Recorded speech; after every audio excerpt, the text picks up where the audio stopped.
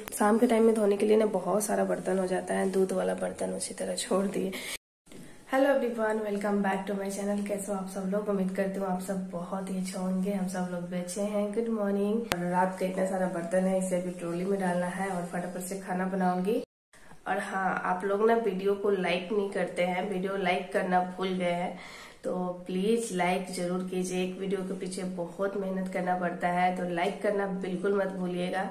आज मैं स्टार्टिंग में ही बोल रही हूँ। मुझे लगता है आधा से ज़्यादा फ्रेंड तो भूल ही जाते हैं लाइक करना तो प्लीज़ आप लोग भूलिए मत। लाइक ज़रूर कीजिएगा। तो चलिए, मिलते हैं थोड़ी देर बाद आप लोगों से।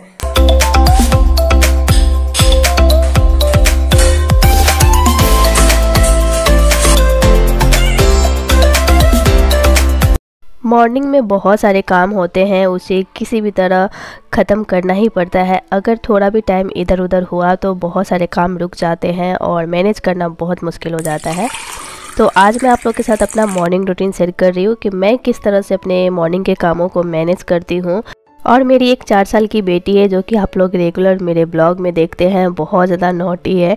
तो उस पर भी ज़्यादा से ज़्यादा ध्यान देना पड़ता है और मेरे हस्बैंड भी ऑफ़िस जाते हैं तो उनके लिए भी मतलब खाना जल्दी बनाना और फिर लंच बॉक्स रेडी करना तो ये सारी चीज़ें मॉर्निंग में ही करना पड़ता है तो बहुत सारे काम का प्रेशर आ जाता है। और ये सब कामों के बीच में अपने ऊपर भी ध्यान देना पड़ता है। अपने लिए भी टाइम निकालना बहुत ज़रूरी है। तो मैं किसी और वीडियो में शेयर करूँगी कि मैं अपने आप को फिट रखने के लिए क्या क्या करती हूँ। वैसे तो अभी मैं योगा कर रही हूँ और सुबह में जब भी मेरे पास टाइम मिलता है तो थोड़ा ना थोड़ा मैं योगा ज़रूर करती हूँ। पहले मैं रेगुलर योगा करती थी, आजकल इतना टाइम नहीं मिलता है तो मैं नहीं करती ये सब थोड़े बहुत जो हल्का फुल्का एक्सरसाइज है, वही मैं कर लेती हूँ और इतना भी करती हूँ ना तो मेरे लिए बहुत अच्छा होता है। माइंड बहुत ज़्यादा रिलैक्स हो जाता है और अपने आप को पॉजिटिव रखना भी बहुत ज़रूरी है, क्योंकि आजकल बहुत नेगेटिव ख्यालों में लोग रहते हैं और बाहर का माहौल तो आप देख ही रहे हैं तो थोड़ा सा एक्सरसाइज करना भी बहुत ज़रूरी है।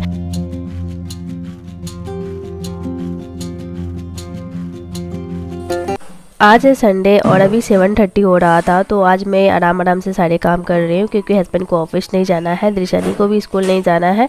नहीं तो रेगुलर डे में क्या होता है ना कि मुझे सारे काम जल्दी जल्दी ख़त्म करने पड़ते हैं। मेरे घर में ना आठ बजे पानी आ जाता है तो आठ बजे से पहले जितने भी क्लीनिंग का काम होता है ना, वो ख़त्म करना पड़ता है और साथ ही साथ खाना भी बनाते रहती हूँ।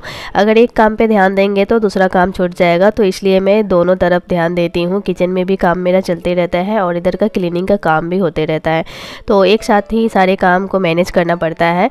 अभी मैं किचन में दाल चढ़ा चुकी हूँ और इधर मैं पोछा लगाने आ गई, क्योंकि झाड़ू तो मैं सुबह में ही लगा देती हूँ, उठने के बाद ही मैं लगा देती हूँ। तो इस तरह से मैं अपने काम को मैनेज करती हूँ, क्योंकि कोई भी काम अगर करते हैं ना प्रेशर लेके नहीं करना चाहिए। प्रेशर लेके अगर काम करेंगे ना तो आपका काम भी नहीं होगा और ऊपर से आपका दिमाग ख़राब तो होगा ही, क्योंकि सर दर्द तो बहुत गंदी आदत है, वो जल्दी पकड़ लेता है और मेरे साथ भी ऐसा ही होता है। तो मैं प्रेशर लेके कोई काम नहीं करती हूँ आराम आराम से करती हूँ, जितना होता है उतना करती हूँ, बाकी का काम मैं छोड़ देती हूँ।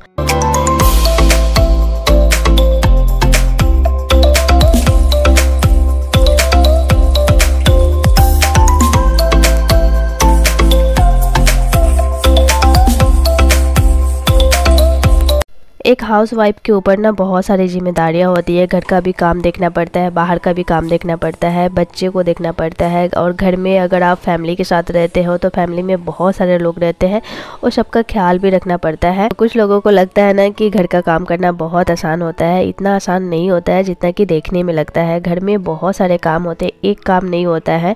अगर गिनती करो तो गिन नहीं सकेंगे कि कितना काम होता है तो ये सारे काम की रिस्पॉन्सिबिलिटी एक हाउस वाइफ के ऊपर ही होता है।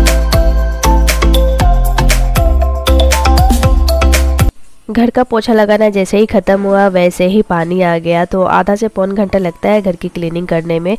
आज तो मुझे ज़्यादा टाइम नहीं लगा है, क्योंकि डस्टिंग मैं पहले ही कर चुकी थी। तो सुबह झाड़ू लगाने से पहले मैं डस्टिंग कर लेती हूँ, फिर उसके बाद मैं झाड़ू लगाती हूँ तो ज़्यादा टाइम नहीं लगता है। और साथ ही साथ किचन के काम भी मैं करते रहती हूँ तो देखिए अभी दाल मेरा बन के रेडी हो गया है और अभी पानी आया है तो मैं पानी भरूँगी।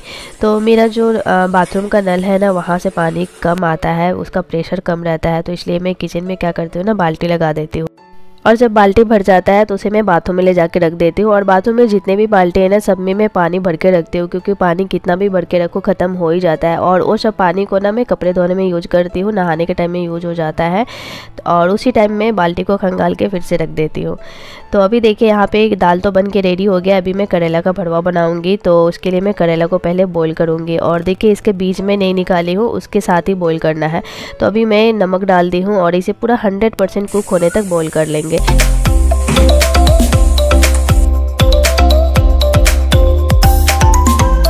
और अभी मैं फ्रिज से मटर निकाली हूँ, क्योंकि मटर का भी सब्ज़ी बनाऊँगी, आलू मटर की सब्ज़ी बना दूँगी, करेला का भड़वा दाल, चावल बन जाएगा। अभी मैं चाय बनाई हूँ, देखिए इतने सारे काम ख़त्म करने के बाद अभी मैं चाय बनाई हूँ, तभी हम लोग चाय पियेंगे, क्योंकि हस्बैंड सो रहे थे दृशानी भी सो रही थी तो मैं लेट से ही बनाती हूँ। जब वो उठते हैं ना, तभी मैं चाय बनाती हूँ, और सुबह तो मैं गर्म पानी पी लेती हूँ तो टेंशन नहीं रहता है। अभी मैं यहाँ पर आलू मटर की सब्ज़ी बना रही हूँ, और इधर मैं करेला का भड़वा भी बना रही हूँ। करेला को बॉईल करने के बाद ना उसके बीज को मैं निकाल दी हूँ, उसके बाद मैं इसे फ्राई कर रही हूँ। और अभी मैं मसाला रेडी करूँगी तो यहाँ पे मैं अदरक, लहसुन का पेस्ट ऐसे ही खल में कूट के बना लेती हूँ और प्याज तो मैं पहले से काट के रखी हूँ। और वही जो नॉर्मल मसाला होता है ना रेगुलर यूज़ करते हैं ना, वही मसाला मैं डालूँगी।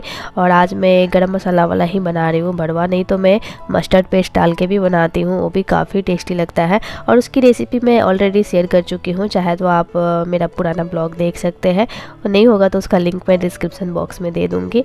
यहाँ पे आलू मटर की सिंपल से सब्ज़ी बना रही हूँ।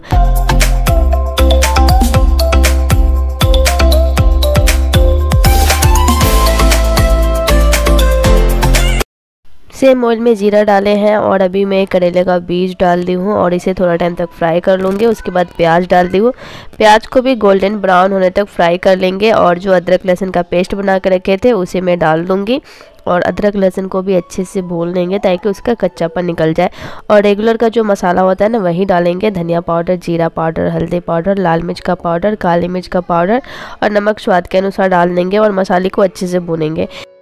अभी देखिए मसाले बहुत अच्छे से भुन गए हैं तो अभी जो करेला मैं फ्राई करके रखी हूँ, उसके अंदर ये मसाले को भर देंगे। और भरवा मैं ज़्यादा नहीं बना रही हूँ, एक ही करेला का मैं बना रही हूँ, क्योंकि मेरे हस्बैंड को ज़्यादा पसंद आता है। वैसे ये करेला खाने में बिल्कुल भी कड़वा नहीं लगता है, भरवा बहुत टेस्टी बना हुआ था। और ये भरवा झटपट बन भी जाता है तो मैं जब भी भरवा बनाती हूँ ना ग्रेवी वाला बनाती हूँ तो आधा जो मसाला बचा हुआ था, उसमें मैं पानी डाल दी हूँ, और अभी थोड़ा सा नमक भी डाली हूँ। अभी ग्रेवी में उबाल आ गया है तो मैं करेला को रखती हूँ और अभी से ढक के धीमे आँच पे पकने के लिए छोड़ देंगे। दो से तीन मिनट तक ये करेला का भड़वा बन के रेडी हो जाएगा।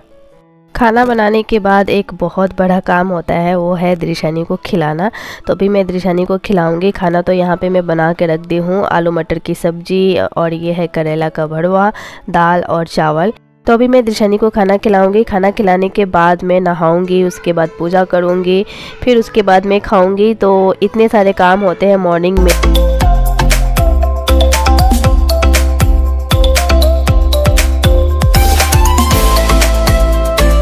दो बज गया अभी जाकर मैं आप लोगों से मिल रही हूँ। और कितना भी जल्दी उठो और वीडियो के साथ अगर काम करते हो ना, वीडियो शूट करते हो, काम करते हो तो लेट तो होता ही है। तो इसलिए मैं मॉर्निंग में ज़्यादातर वीडियो आजकल शूट नहीं कर पाती हूँ। आप लोगों को दिखाना था तो बहुत सारे फ्रेंड पूछते हैं कि मॉर्निंग का रूटीन थोड़ा बहुत शेयर किया कीजिए। तो आज मैं थोड़ा बहुत शेयर की हूँ आप लोगों के साथ। वीडियो रिकॉर्ड कर करके अगर आप कोई काम करते हो ना तो काम करने में डबल टाइम लगता है। जो काम आप आधा घंटा में करोगे, वो सीधा एक घंटा लगता है, क्योंकि बार बार जाके वीडियो को चेक करना पड़ता है वीडियो रिकॉर्ड हो रहा है या नहीं हो रहा है।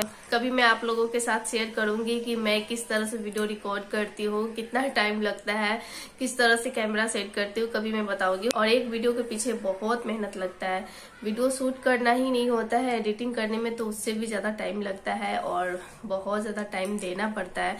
जब मैं वीडियो एडिट करती हूँ तो ज़्यादा टाइम देती हूँ, अच्छे से एडिट करती हूँ। एक एक छोटी छोटी चीज़ को मैं देखती हूँ। गुड इवनिंग दोस्तों, अभी देखिए साढ़े सात हो गया और अभी